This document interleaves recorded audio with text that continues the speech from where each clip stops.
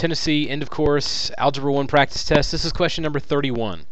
In this question I'm asked to show a graph that best represents the, the solution to a system of linear equations. Now in order to graph them in the calculator it makes my life much easier if I uh, try to put that in as close to slope-intercept form as possible. So that means getting y by itself. So I'm going to take this x minus y is less than 0 thing and then I'm going to move this x because I need to get y by itself. So I'm going to subtract x from both sides.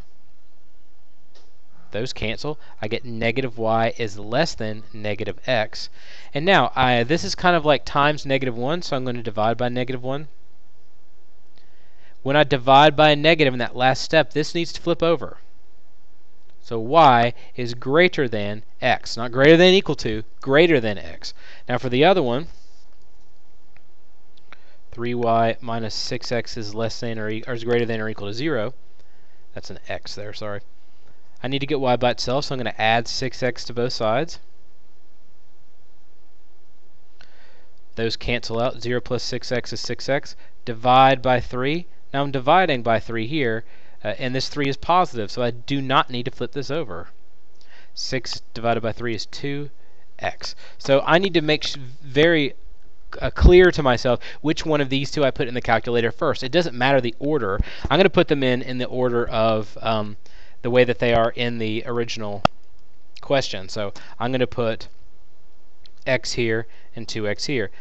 Now these really matter. You can shade them. I'm going to go up to x, click over to where the little windshield wipers go. If it's greater than, which this one is greater than, I'm going to try to hit enter a few times until I get what looks like the top of a sandwich. There it is. It says that shows that it's shading up.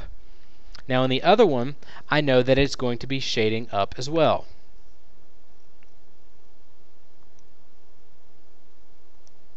Both of them look like the top of a sandwich.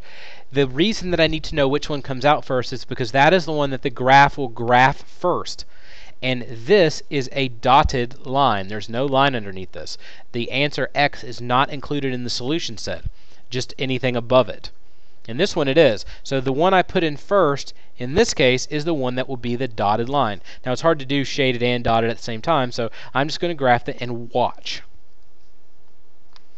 I forgot to reset my window. Hold on.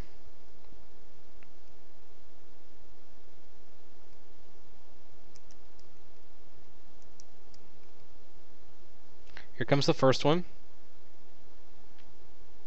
Now the second one is the one that would be the solid line, and after in, in this first quadrant, it is the one that's on top. So I'm going to look for one that has the solid line on the top. See how this one has a dotted line on top? That's out. This one has a dotted line on top as well, and that's out. Now I'm going to look for shading. This has a very dark shade right here. That's because the shade from here is included as well as this one. So I'm looking for something that's shaded over here of the answer choices that I have left. That seems very much like D to me. So the answer to number 31 is D.